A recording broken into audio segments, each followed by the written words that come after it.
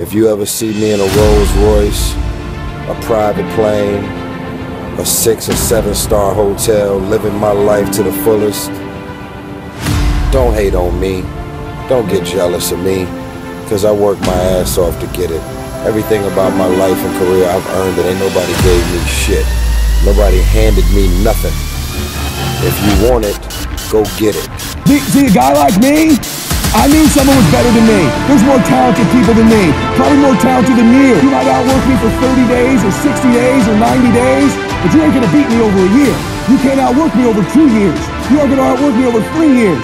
I'm gonna get you eventually. I'm a dripping damn faucet. I just keep coming at you. If you could, I just keep coming. You might think I'm knocked out. I just keep coming. I'm too damn tough to give up. Most people half-ass half their life all the time. I knew they were gonna get tired. They were gonna flinch. They were gonna get down. They may not quit. They might sit send a letter resume. They quit getting wide. They quit recruiting people. They quit improving themselves. They start sleeping in. They spend all their damn money.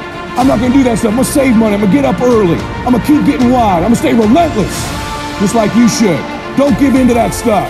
Don't give in to the fears. Don't give in to the setbacks. You're gonna have failure. It's part of the game. The only thing that I see that is distinctly different about me is I'm not afraid to die on a treadmill. Right? I will run. You will not be outworked. I will not be outworked. Period.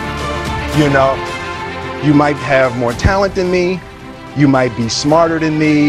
You might be sexier than me. You might be all of those things. You got it on me in nine categories. But if we get on the treadmill together, right? There's two things. You're getting off first, Yeah. or I'm gonna die.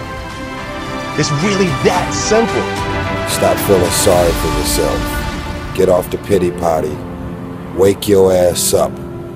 Awaken the beast inside. Get in shape. Get off the pity potty.